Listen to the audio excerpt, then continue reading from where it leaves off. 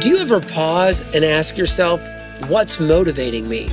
Why do I think I need to have this thing or accomplish this thing? Why am I trying to do the things that I'm doing?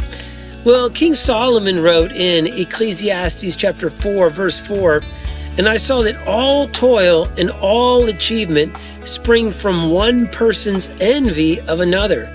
This too is meaningless and chasing after the wind. It's a pretty bleak view of the human heart that all achievement is motivated by envy of our neighbor.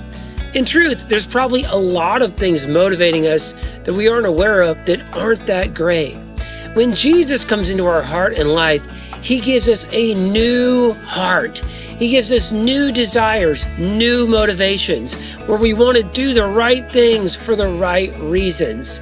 If you feel like in your heart you're being motivated by things that aren't good, go to your knees to Jesus today. And friend, remember, when you're following Jesus, the best is always yet to come.